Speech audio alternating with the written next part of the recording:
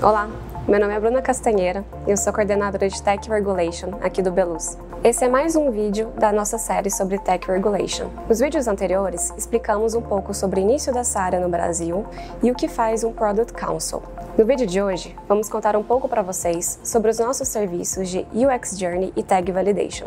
Na prática, na UX Journey, avaliamos toda a experiência do usuário ao utilizar o serviço, o produto ou uma plataforma dos nossos clientes. Dessa forma, conseguimos indicar para o nosso cliente quais são todos os pontos de melhoria daquela plataforma, daquele serviço, que devem ser adotados para que ele esteja em conformidade com leis como o Código de Defesa do Consumidor, o Marco Civil da Internet, entre outros.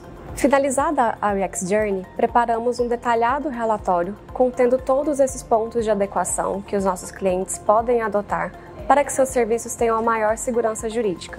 Na Tag Validation, solicitamos aos nossos clientes o envio de todos os contratos firmados com rastreadores de terceiros para a operacionalização de suas plataformas. Com isso, analisamos cada um desses contratos e indicamos aos nossos clientes quais são os seus níveis de exposição em cada um desses instrumentos.